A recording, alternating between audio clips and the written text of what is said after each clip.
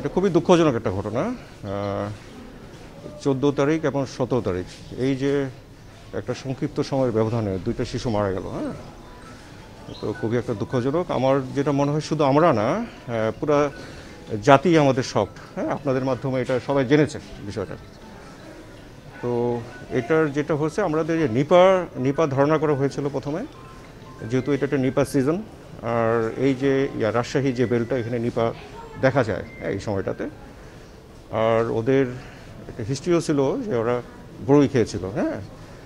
তো এটাই তো আমরা এটা নিপার জন্য যেটা প্রাইমারিলি যেটা নিপা ভাইরাসটা ওদের স্যাম্পলে আছে কি না এটা শনাক্ত করার জন্য এটা পাঠানো হয়।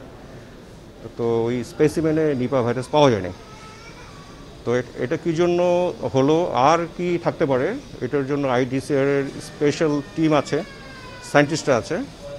ওনাদের সঙ্গে গতকালকে আমার কথা হয়েছে।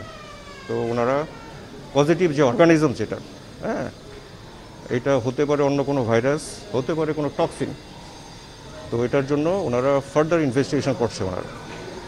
একটা বিষয় আর আরেকটা বিষয় যেহেতু এটা still it is still it is mysterious হ্যাঁ আমরা তো এখনও জানতে পারছি নাকি।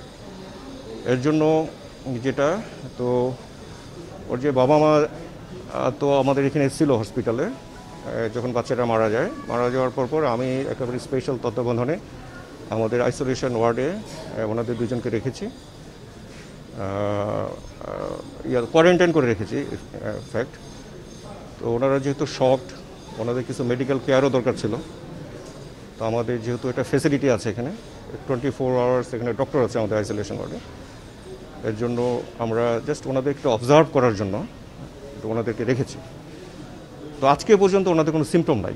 হ্যাঁ বাট ওনারা দে আর ভেরি সফট আমি একটু আগে দেখে আসলাম। তো এটাই আমি চিন্তা করছি, আমরা কিছু ব্লাড রিপোর্ট দিয়েছি ওনাদের। এটা হয়তো চলে আসবে ঘণ্টা দুয়েক পরে আর কি। তো ওই রিপোর্টটা পাওয়ার পরে ওনাদেরকে যাতে হোম কোয়ারেন্টাইনে ওনারা থাকে, সেই ব্যবস্থা আমি করব। মৃত্যুর কারণটা হলো যেটা কি আমরা স্যার? অজানা ভাইরাস বলছি সেটা কি শনাক্ত? না আমি তো বললাম যে কারণটা বের করার জন্যই তো এখন পর্যন্ত আইডিসিআর চেষ্টা চালাচ্ছে। হ্যাঁ এটা তো স্যার, IDC এর আজকে আসলে কি কি কার্যক্রম করবে? না আইডিসিআর যেটা আমি বলছি এটা দুইটা বিষয় আছে এখানে। আইডিসিআর যে ঢাকার যে ল্যাব যেটা আছে ল্যাবে ওর স্পেসিমেন যেটা স্যাম্পল যেটা স্যাম্পলটার ফার্দার পরীক্ষা নিরীক্ষা হচ্ছে।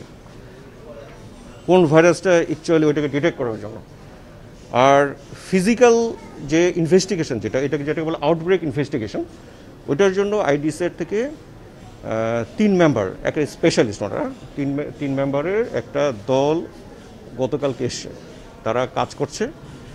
তারা তাদের পদ্ধতি আছে কাজের সিস্টেম আছে কীভাবে বের করতে হয়। সেভাবেই ওনারা কার্যক্রম চালাচ্ছে। একটু আগে কথা বলছি আমি। ওনারা সব কিছু দেখছে। ওনারা ইয়েতে যাবে। স্পটে যাবে যেখানে এটা হয়েছে হ্যাপেনিং ওখানে যাবে ওখান থেকে স্যাম্পল নেবে এটার সঙ্গে রিলেটেড যারা আছে তাদের সঙ্গে কথা বলবে হ্যাঁ? তো ওনাদের একটা একটা পদ্ধতি আছে সেই পদ্ধতি অনুযায়ী ওনারা ওনারা কাজ করবেন।